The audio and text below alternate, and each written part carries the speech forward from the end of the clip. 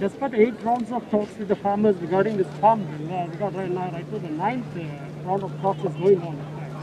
How do you see this impact? Farmers are not in a position to understand the government, or the government is not able to understand the position of the farmers. The farmers are planning for a massive rally, tractor rally on 26th uh, January. Uh, see, uh, uh, I do not know exactly what is it uh, that is really upsetting the farmers of Punjab and Haryana. Uh, the policy doesn't seem to disturb the farming community here, I've spoken to many of them, they don't feel that way. So what I feel is there may be specific concerns in different uh, areas of the nation or different states of the nation.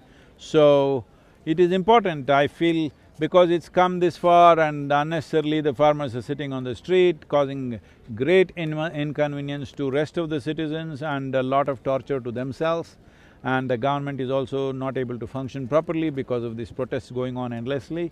So I think it is best that… Uh, that these laws are made as a recommendation for the nation and every state, uh, it is best that they try to explain to the state leadership what is the significance of this loss, what sort of investment it'll bring into the states, what kind of development and infrastructure will happen, the cold chains and the value addition infrastructure that could come out of this.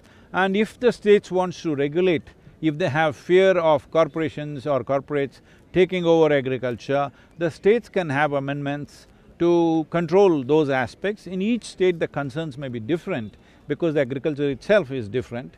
So I feel that would be the way forward, but uh, right now it's unfortunate that so many people are unnecessarily suffering. I feel it's a… it's a large-scale mm, misunderstanding. I'm not saying on any one party, I think somewhere they didn't read it right and these people didn't understand what they're saying.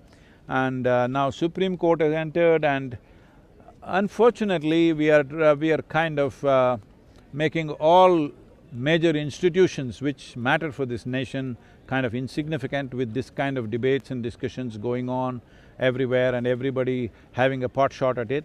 I feel it's time that the government uh, makes this law into a recommendation and every state can make their own amendments as they want, consulting their farmers according to their requirements.